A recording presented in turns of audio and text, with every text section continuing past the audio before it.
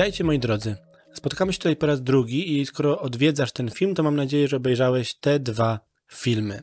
Pierwszy film, ten u góry, to jest film na kanale Pasja Informatyki, w którym wprowadzałem Cię w świat Pythona. Ten drugi to rozwiązanie pracy domowej na moim kanale. Jeżeli szukasz tych filmów, to w opisie znajdziesz link do playlisty, gdzie wszystkie filmy są dostępne. Jeżeli natomiast interesuje Cię jakby cała ta historia, to zachęcam Cię do tego, żeby do, żebyś dołączył na stronie podstawypythona.pl do newslettera, tak żebym mógł Cię sp e, nie spamować, tylko pisać do Ciebie wiadomości dotyczące właśnie Pythona. Dzisiaj zajmiemy się tematem kolekcji. Będziemy omawiali więc kolejno tuple, listy, słowniki oraz zbiory. Mam nadzieję, że ta lekcja Ci się spodoba i zostawisz łapkę w górę, a jeżeli jeszcze nie subskrybujesz tego kanału, no to koniecznie zostaw subskrypcję, bo będzie się działo. Zapraszam do kodu. Ok, no to zacznijmy od tupli. Tylko, że żeby sobie stworzyć taką tuplę, czy żeby pokazać sobie te kilka rzeczy podstawowych, które chciałem Wam pokazać, zanim zaczniemy kodować, dużo wygodniej będzie, jeżeli pisząc kod, będziemy od razu dostawali też wynik. I w tym celu ja na moment, tak dla edu edukacji, nie będę kodował wewnątrz e, PyCharma, tylko podniosłem sobie terminal do góry i po prostu wpiszę słowo Python. Python sprawi wówczas, wpisanie tego słowa sprawi wówczas, że uruchomimy tak zwany interpreter Pythona. I dzięki temu będziemy mogli wpisywać różne komendy, zobaczcie przykład 2 plus 2 i od razu po wciśnięciu klawisza Enter dostaniemy wynik. I teraz na początku mówiliśmy sobie o tym, że zmienna może przechowywać wartość, która jest na przykład liczbą. Może przechowywać wartość, którą jest na przykład tekst. Natomiast do zmiennej możemy też przypisywać więcej danych. I dlatego mówimy o kolekcjach. Tak samo jak w życiu, nie? Ktoś ma e, jeden miecz albo ma kolekcję mieczy. Ja akurat nie mam. Ale okej, okay. więc tutaj w tym przypadku jeżeli chcielibyśmy stworzyć sobie taką kolekcję, to musimy w jakiś sposób wymienić więcej wartości. No i zależnie od tego, z jakiego typu będziemy chcieli korzystać, czy będą to tuple, listy, słowniki czy zbiory, będziemy używali innych znaków. W przypadku tupli tym znakiem, który musimy dopisać jest nawias, jednakże nie jest on wymagany. Można go też pominąć. Zobaczcie, mogę sobie stworzyć tuple, nazwać ją fruits, no i napisać lemon, apple, orange. Oczywiście, jeżeli to są stringi, tutaj zapomniałem, powinny być one umieszczone w apostrofach. I to będzie tupla składająca się z trzech elementów. Żeby wyświetlić ją sobie, mogę po prostu napisać fruits i zobaczymy wówczas, że te nawiasy nam się dodały i wyświetlają nam się wszystkie elementy tupli. Deklaracja tej tupli mogłaby też przebiegać za pomocą nawiasów, tak jak wspominałem wcześniej. Czyli mogę sobie dorzucić nawiasy, ale dalej muszę pamiętać o przecinkach w środku. Tutaj jest jedna bardzo ważna rzecz. Jeżeli chcemy stworzyć tuplę jednoelementową, załóżmy, że ja mam tylko jedno imię, no to potrzebujemy sobie stworzyć names, na przykład nazwijmy te tuple, bo raczej przyjęło się, że skoro są to kolekcje, to przez to, że przechowujemy więcej wartości w środku, to dodajemy literkę s na końcu, co wskazuje, że jest to liczba mnoga, czyli names. No i tutaj wprowadziłbym Kacper. Ale z racji tego, że chcę, żeby to była tupla, to też muszę dorzucić ten przecinek na końcu. I wtedy będę miał tuplę. W przeciwnym wypadku miałbym po prostu pojedynczą wartość, którą byłby string, przypisany do zmiennej. Wróćmy do naszych tupli. Mamy więc tuplę names, mamy tuplę fruits. I teraz tę tuplą fruits chciałbym się z Wami zająć. Co możemy powiedzieć sobie takiej tupli? Przede wszystkim tuple są niemutowalne, czyli nie możemy zmieniać wartości przypisanych do tupli. Jeżeli na przykład zrobię sobie fruits od zera równa się e, mango, to dostanę informację tuple object does not support item assignment, bo o tym sobie jeszcze nie powiedzieliśmy, ale żeby dostać się do któregoś elementu tej tupli, czy któregoś elementu naszej kolekcji, musimy odwołać się do, do niego poprzez podanie jego indeksu i indeks podajemy zawsze w nawiasach kwadratowych, czyli na przykład właśnie fruits od zera albo fruits od 1. Natomiast tuple są niemutowalne, czyli elementów tych tupli nie możemy zmieniać. Jeżeli chcielibyście sobie stworzyć tuple nie poprzez jej deklarację, ale na przykład zamienić jakąś wartość na tuple, to można to zrobić korzystając ze słowa tuple. I tu jeszcze jedna ważna rzecz. Po polsku przyjęło się, że w języku polskim na tuple mówi się krotka. Natomiast przez to, że stosujemy bardzo często kalki językowe typu nie mówi nikt e, używaj tam łańcuchów znaków, tylko używaj stringów, no to część programistów właśnie używa tego słowa tuple. Więc jeżeli teraz chcielibyśmy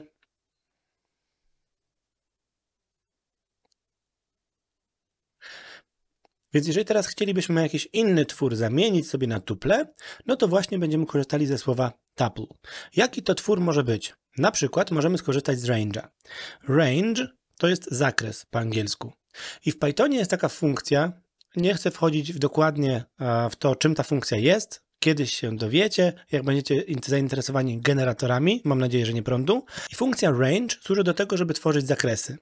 Można na przykład stworzyć sobie zakres wartości od 0 do 10. Tyle tylko, że ona nie zwróci nam od razu tych wartości w jakiejś postaci. Ale wynik takiego zapytania możemy sobie zamienić na tuple. Więc zrobię tuple równa się range 0,10 enter, no i dostajemy wartości od 0 do 9. Czyli wszystko się nam ładnie udało, wartości się nam wyświetliły. No i oczywiście mogę sobie to przepisać do jakiejś zmiennej, no i mogę napisać a od 1 i wyświetli mi się 1, a od 2 i tak dalej. Z range'em jest ogólnie ciekawa zabawa i to warto, żebyście wiedzieli z tego powodu, że będziemy też z tego range'a, e, z tych, tej zabawy, mówmy, za moment korzystali, a mianowicie w range'u można też podać trzecią wartość i wtedy będziemy mieli krok. Na przykład, jeżeli chcielibyśmy dostać wszystkie liczby e, parzyste od 0 do 100, to wystarczy, że sobie podamy trzecią wartość jako 2 i będziemy mieli 0, 2, 4, 6, 8, no bo to jest po prostu krok. O tyle wartości on będzie nam za każdym razem przeskakiwał. Jeżeli chodzi o dostawanie się do elementów tupli, to powiedzieliśmy sobie, że możemy używać indeksów. Natomiast można też używać indeksów ujemnych. Czyli na przykład, jeżeli chcielibyśmy pobierać wartości od końca, no to wtedy możemy wykonać a od minus 2 i zobaczcie, wtedy nam pobierze wartość 96. I tutaj możliwe, że zwróciliście uwagę na to, że skoro powiedziałem, że pobieram range od 0 do 100, no to czemu setki tutaj nie ma? Z tego względu, że w range'u ta wartość ostatnia to jest taki zakres prawostronnie otwarty. On po prostu ta setka nie będzie uwzględniona. Więc kiedy będę chciał pobierać sobie wartości, no to robię a od 2 i mam czwórkę, a od minus 2 mam 96. Gdzie te tuple się przydają? Często kiedy odbieramy dane na przykład z bazy danych, to są one właśnie serwowane nam w tego typu tuplach. No jest to też taki podstawowy e, kolekcja zawarta w Pythonie, stąd też no, musieliśmy sobie ją pokazać. Przy okazji tupli bardzo często też na tym etapie omawiam slicing, ale ten film pokażemy sobie w przyszłości, nie chciałbym Wam na razie tym filmem mieszać. Przechodzimy sobie do drugiej e, kolekcji, będą nią listy. Porozmawiajmy więc teraz o listach.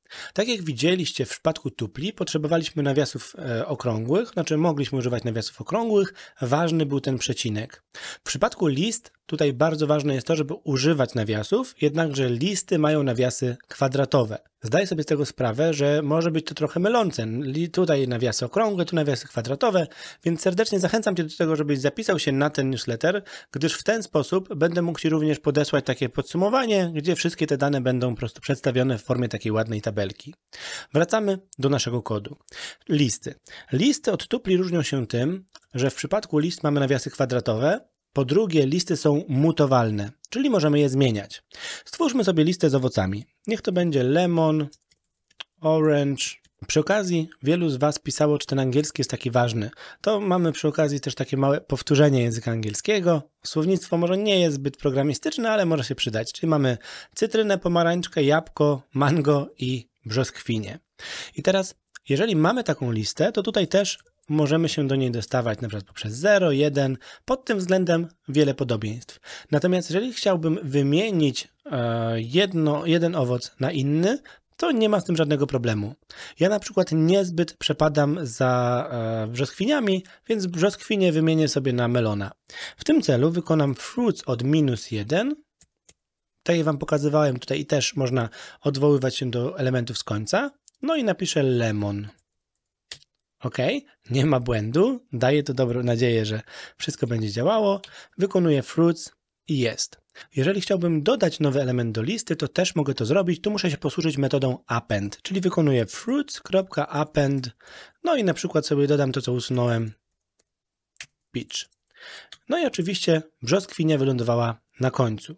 To jest metoda, a nie funkcja. Dlaczego? Bo tak naprawdę nasz fruits to jest obiekt, Wiem, trochę teraz robimy nagle zamęt, ale o tym sobie jeszcze kiedyś porozmawiamy. No i na obiektach można właśnie wykonywać metody. Czyli metoda to jest taka jakby funkcja, ale powiązana z konkretnym czymś. I to coś w naszym przypadku to jest lista i na tym czymś można wykonać append. To tak trochę jakbyście mieli samochód, chcielibyście wykonać na nim metodę jedź, to też moglibyście zrobić to analogicznie. Co jeszcze mogę zrobić z moimi owocami? Mogę je posortować. Fruits sort fruits i mam posortowane owoce.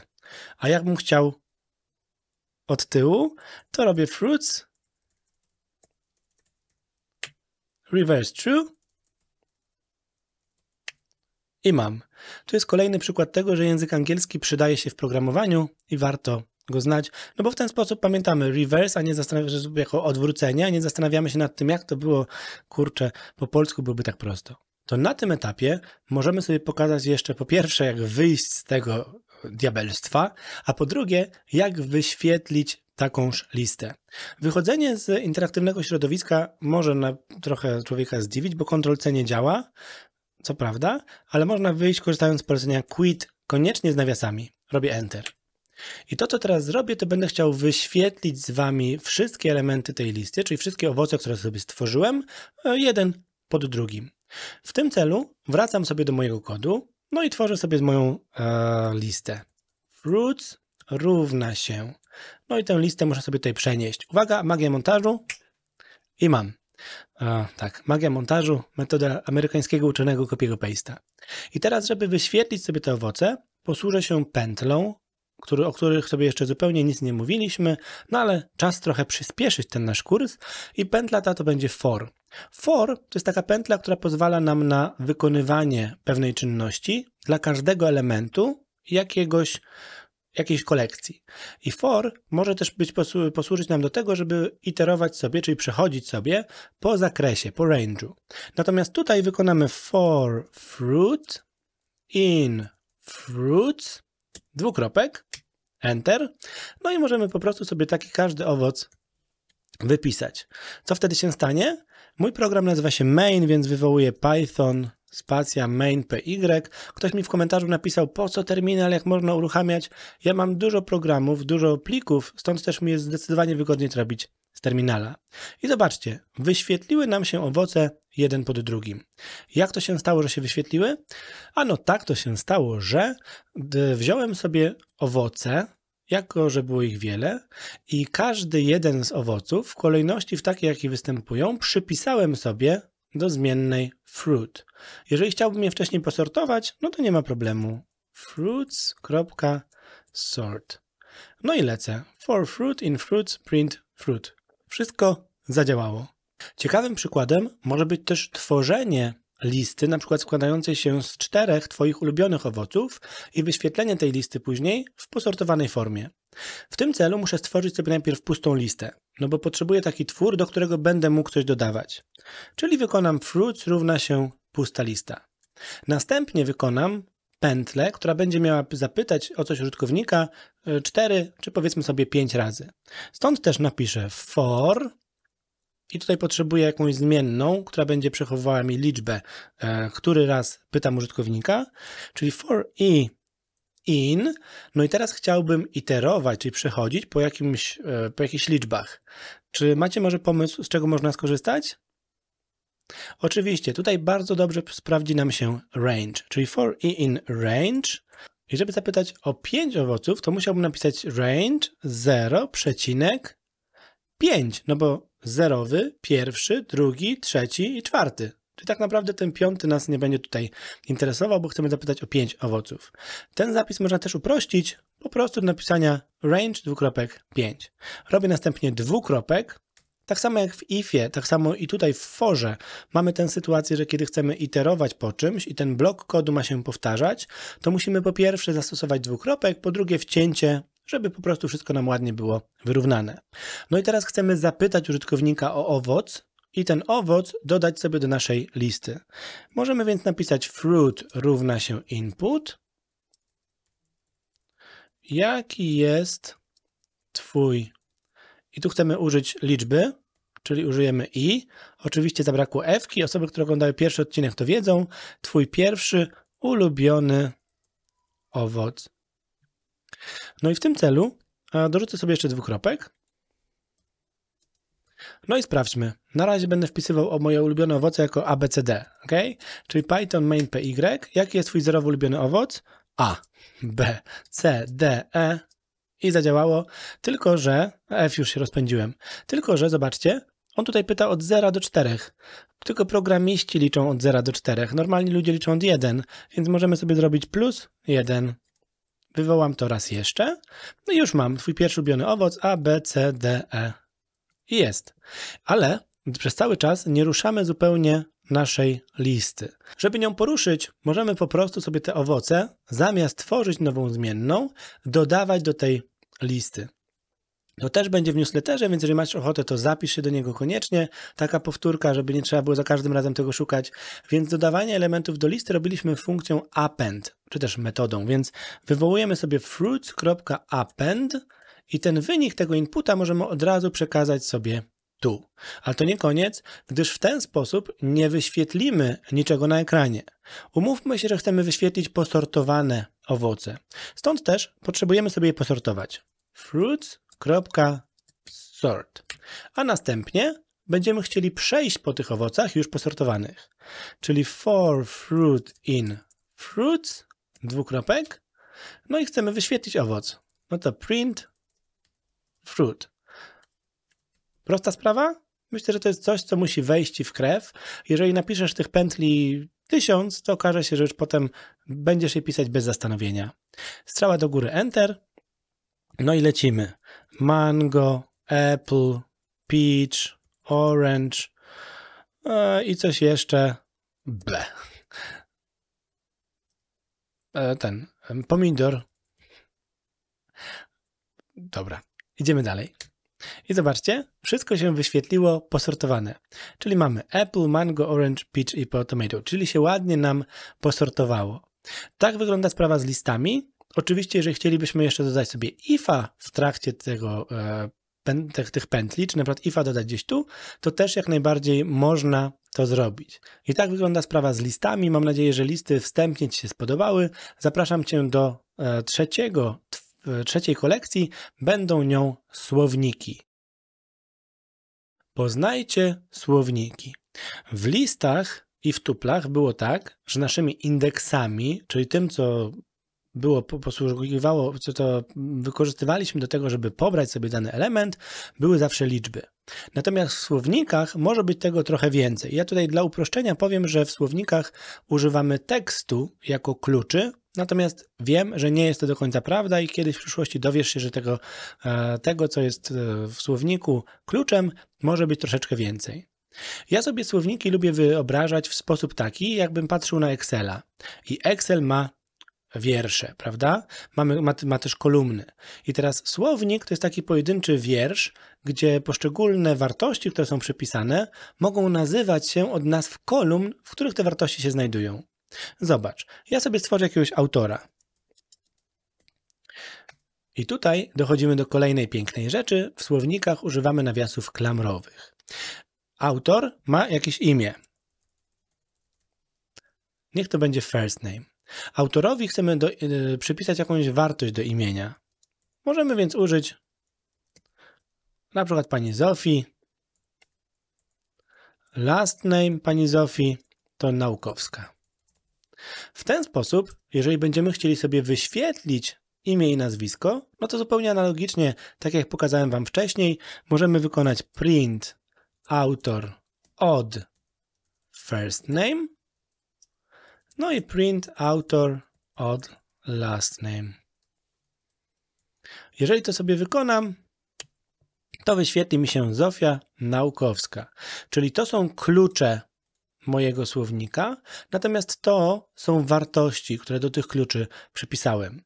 To się przydaje wtedy, kiedy chcemy właśnie sobie pewne rzeczy ponazywać, na przykład w plikach konfiguracyjnych, czy też chcemy te dane gdzieś później przekazać, tak żeby one były przypisane, bo na przykład mamy wszędzie jakieś wartości liczbowe i nigdy nie wiadomo, czy to jest przyspieszenie, czy to jest napięcie, czy to jest cokolwiek tam innego, jakieś inne liczbowe dane, więc wtedy za pomocą słowników właśnie możemy to sobie ładnie uporządkować. No i tutaj jest też ciekawostka, że po słownikach iteruje się odrobinę inaczej, bo jeżeli używamy pętli for i chcemy przejść po słowniku, no to musimy się przygotować na to, że e, trzeba, że i to, co będzie w tej zmiennej, to będzie coś odrobinę innego. Ale już wam pokazuję, nie ma problemu. Zobaczcie, dorzucę sobie tylko tutaj pętlę for, no i napiszę na razie item. Nie, nie chcę tłumaczyć, co tu będzie, zaraz zobaczycie sami. For item in autor, dwukropek, print item. I w ten sposób, kiedy to sobie wywołam, okaże się, że on mi wyświetli first name oraz last name. Co to oznacza? Oznacza to to, że kiedy wyświetlam sobie wartości znajdujące się w słowniku, to pod tą zmienną item znajdują się klucze. Ojej, to znaczy, że nie można dostać się do wartości? Można dostać się do wartości. Pokażmy to sobie. A mianowicie wystarczy wyświetlę sobie item, a drugą rzeczą, którą będę wyświetlał, będzie autor. Jeżeli chcemy dostać się do first name'a, no to pokazywaliśmy sobie, że musimy wykonać autor od w ciapkach first name, czy tam w apostrofach. Natomiast jeżeli chcemy wyświetlić autor i first name, a first name w przebiegu pętli wpadł nam tu do item, to znaczy, że wyświetlamy sobie autor od item. I w ten sposób wyświetlimy nie tylko first name, ale, ale też Zofia, nie tylko last name, ale też naukowska. Jest też parę metod, jeżeli ktoś ma ochotę posłuchać, bo tutaj zależy mi tylko na takim pokrótce opowiedzeniu Wam, jak z tych poszczególnych zagadnień korzystać, to mamy takie metody na słownikach, jak na przykład e, autor.items, autor.keys czy autor.values. Szczególnie ciekawie wygląda author.items. To za moment sobie pokażemy. Natomiast author keys i author's values zwracają nam po prostu y, kolekcję kluczy, czyli first name, last name i kolekcję wartości. Zofia i naukowska. Natomiast author items powoduje, że nasz e, poszczególny ten element, który będziemy mieli pod zmienną item, to już nie będzie e, first name, tylko będzie tupla first name oraz Zofia. Zobaczcie, to sobie zakomentujemy na później. To sobie zakomentujemy ops, e, na przyszłość, jak będzie Wam to potrzebne. Ja teraz wykonam for item in author items. Print item. I zobaczcie, co się w tym momencie stanie. Strzała do góry Enter. Mam tuple first name Zofia, last name Naukowska. I od tej tupli mogę też, e, z tej tupli mogę też pobrać sobie poszczególne elementy na przykład item od 0, item od 1. To też można uprościć, co też wam, wam zaraz pokażę, ale zobaczcie już w tym momencie pod item od 0 wpadło mi first name oraz last name, item od 1 Zofia i Naukowska. Czyli to ta praca z tymi e, słownikami tutaj nabiera rozpędu, możemy coraz więcej i więcej. To, co możemy zrobić jeszcze, to możemy skorzystać po prostu z tego, że skoro są to tuple, to żeby nie pisać item od 0, item od 1, tutaj można wymienić dwa elementy rozdzielone przecinkiem i wtedy on będzie wiedział, że do tego pierwszego ma wpakować wartość leżącą na indeksie 0, a do, nazwijmy go drugiego, ma wpakować wartość leżącą na indeksie 1. Skopiuję to sobie poniżej, no i napiszę item uh, first name, last name, bo wiem, że te wartości leżą w takiej kolejności, więc też w takiej, w takiej kolejności będę chciał je sobie pobrać. OK, strzałka do góry, Enter, no i widzicie, skoro nie ma różnicy, to po co przepłacać? Dla mnie ten e, zapis, który napisałem na samym dole jest zdecydowanie najczytelniejszy. Więc pokazaliśmy sobie kolejną rzecz związaną ze słownikami i myślę, że możemy przejść do ostatniego e, przykładu, jeżeli chodzi o nasze kolekcje. Będą to zbiory. Do zobaczenia. Zbiory są fascynujące. Jeżeli rozmawiamy o zbiorach, to w przypadku zbiorów można robić niektóre rzeczy, których nie możemy robić z innymi kolekcjami. Natomiast zbiory mają jeszcze jedną cechę, a mianowicie wartości znajdujące się w zbiorach nie mogą nam się powtarzać. Zobaczcie. Stworzę sobie zbiór. Żeby stworzyć sobie zbiór, pusty zbiór, korzystam ze słowa set ze nawiasami. Na przykład znowu użyję sobie first names równa się set. Czyli mamy jakiś zbiór imion. Jeżeli będę chciał teraz do tych imion dodawać nowe osoby, no to mogę wykonać first names i tutaj kto pomyślał o append, no to słusznie, tylko to nie jest lista, tylko to jest zbiór. I tu znowu jest inaczej. Żeby dostać się do zbioru i sobie coś dodać, wykonuję polecenie add. I za pomocą adda mogę do zbioru dodawać nowe rzeczy. Czyli robię add, no i sobie pododaję Michał,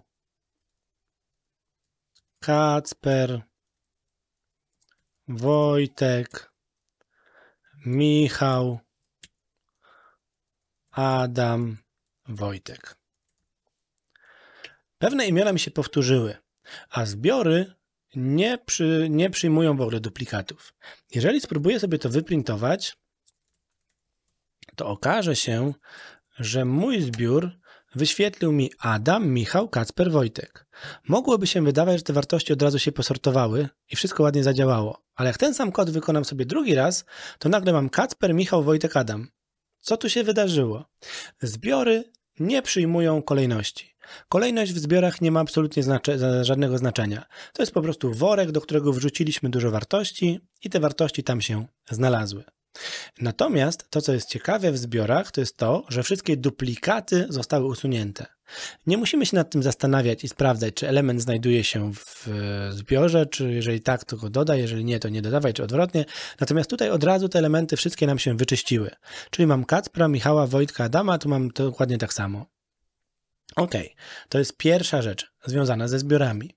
Natomiast druga rzecz jest taka, że na zbiorach możemy wykonywać dodatkowe operacje. Pamiętacie może, że możemy dodawać, mnożyć, dzielić, odejmować itd. Tak Podobne rzeczy możemy robić na przykład z listami, bo dwie listy dodane do siebie stworzą nam nową listę, która będzie miała więcej elementów. Natomiast w przypadku zbiorów, jeżeli spróbujemy E, chcemy wykonywać jakieś na, nie na nich operacje, to możemy na przykład łączyć zbiory ze sobą, możemy na przykład szukać części wspólnej zbiorów, możemy liczyć różnicę symetryczną. Mam nadzieję, że teraz, kiedy to mówię, widzicie takie parę obrazków i widzicie operatory, które do tego służą, oraz możemy też e, liczyć Momencik. Suma, różnica, e, część wspólna i różnica symetryczna. To są takie cztery operatory, które teraz przychodzą mi do głowy i które też możemy sobie pokazać. W tym celu będziemy potrzebowali mieć dwa zbiory. Wracamy do kodu. W nasze zbiory mogą być, jeżeli nie są puste, mogą być zadeklarowane również za pomocą nawiasów klamrowych, ale tak, ten sposób deklaracji będzie wyglądał tak, że wartości będą rozdzielone przecinkami. Ja sobie wrócę do tego i stworzę sobie te imiona. Czyli będziemy mieli jakiś team A, drużyna A. Kto oglądał? Napiszcie w komentarzu. Niech to będzie Wojtek. Imiona wymyślam, bo to wiadomo. Nie wiem, czy u was też tak było, ale u mnie w drużynie A to się każdy był e, z chłopaków wtedy. Rafał. No i będzie team B. No jak w, klas klasami to też w A było zawsze fajniej, nie? Ja zawsze byłem w A. Najpierw byłem w A, a potem byłem w C.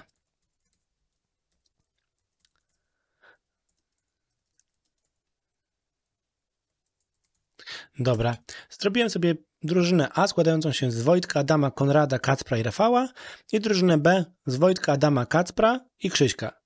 Czyli tak naprawdę widzimy, że obie, obie te drużyny tutaj przyjmują samych mężczyzn, przepraszam, panie mogą, e, mogą też pracować na mężczyznach, albo stworzyć sobie swoją własną drużynę. I teraz będziemy chcieli na przykład dodać te dwa zbiory do siebie. W tym celu, żeby dodać dwa zbiory do siebie, używamy pojedynczego pipe'a, czyli team A, pipe, team B czyli to jest suma dwóch zbiorów. Jak to sobie wywołam? O, to zobaczycie, mam Krzyśka, Wojtka, Adama, Kacpra, Konrada i Rafała. Jeżeli chciałbym znaleźć część wspólną zbiorów, to używam operatora ampersanta, czyli wykonuję print część wspólna. To jest team A, ampersand, nie trafiłem, team B. W tym momencie dowiem się, że częścią wspólną jest tylko Adam, Kacper i Wojtek. Wojtek się zgadza, Adam się zgadza i Kacper też się nam zgodził. Jeżeli chciałbym znaleźć e, różnicę symetryczną, czyli wszystko to, co znajduje się e, tylko jest unikatowe dla tych zbiorów, to wówczas używam symbolu karetki. Czyli robię team A, daszek, nazwijmy go, team B. W tym momencie dostanę informację, że w jednym zbiorze był sobie Konrad Krzysiek, tak, jako wartości unikatowe, w drugim zbiorze widzimy, że go nie ma, i Rafał. Natomiast jeżeli chodzi o odejmowanie zbiorów, to to oczywiście zależy od tego, jaki zbiór odejmujemy od jakiego. I akurat jeżeli chodzi o usuwanie, to operator jest Wam znany, jest to minus. A minus B, No i analogicznie b minus a możemy wykonać i też dostaniemy wartości. Ops, wszystko nam zadziałało. I zdaję sobie sprawę z tego, że w tej lekcji tego materiału było dużo. Wiem, że może się wydawać, że jest to strasznie trudne do ogarnięcia, ale uwierzcie mi, że jeżeli się zapiszecie na newsletter, który znajdziecie tu, a następnie e, obejrzycie tabelkę, w której jest wszystko to wypisane, to wszystko to powinno być dużo, dużo łatwiejsze. Ja Wam bardzo serdecznie dziękuję za dzisiejszy odcinek i zapraszam już za tydzień. Do zobaczenia, trzymajcie się, cześć!